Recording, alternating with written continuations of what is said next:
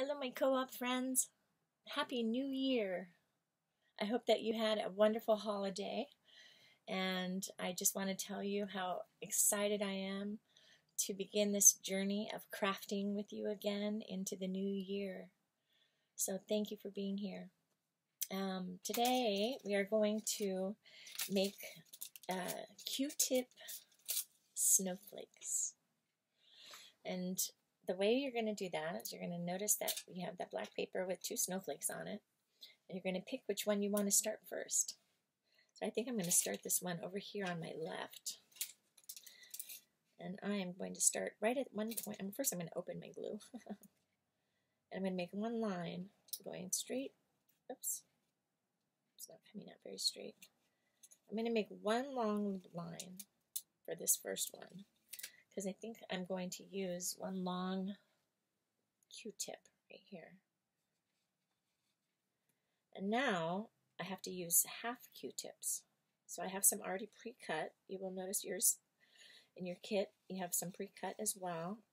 And it's always a good idea to add your glue on opposite sides of each other. So I'm making this point and then I will make this point for a total of six points. So now what I need to do is I need to use the cut pieces. And I think what I'm going to do, oops, I have some over here that are that are cut and some that are not cut. But the size that I want, they are not cut yet. Don't worry, yours will be. You have to use this tool here to cut them, see? It makes them sort of the same size. Okay, now I'm going to add my half piece there and my other half piece on the opposite side. Then I'm going to just fill each point that way. So we got one, two, three, four, five, six. We have our six points on our on our first snowflake. See? Now there's more details in the snowflake and you are welcome to get as creative with it as you'd like. I am just going to add a dot and just do the tips of a Q-tip in those spots. Now I know I said that it's good a good idea to go opposite sides, but in this case I'm not going to do that for these points. I'm just going to make dots going all the way around. And I'm going to use these pointed Q-tips here, like that, in each of those spots. And it's just the ends of the Q-tips cut. The puffier side. Now you will notice if it glue gets on your fingers, then stuff starts to stick to it. And it makes it a little bit harder to do your project easily. So try not to get too much glue on your fingers because it'll make it a little bit more challenging. All right. There's the first one. See? There it is. I'm going to do the second one. And I'm going to do it basically the same way. But this time I'm only going to, I'm not going to do one long one in the, in the first one. I'm just going to do the points.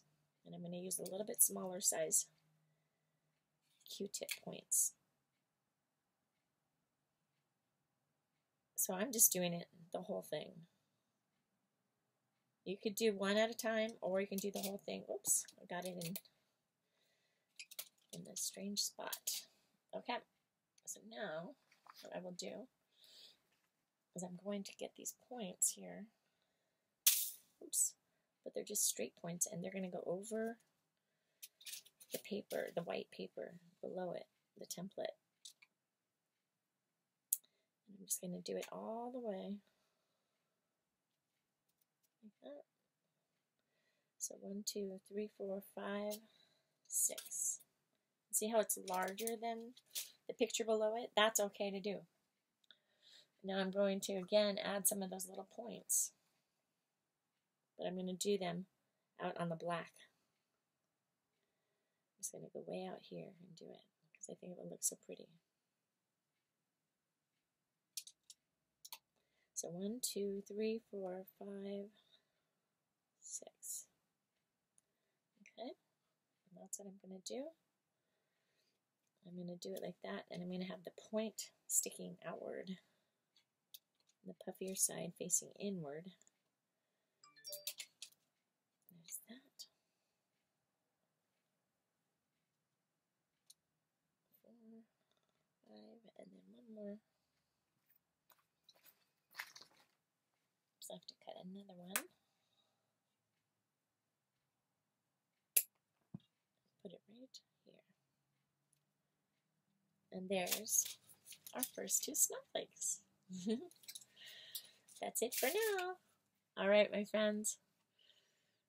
I look forward to sharing another project with you momentarily. Okay, bye.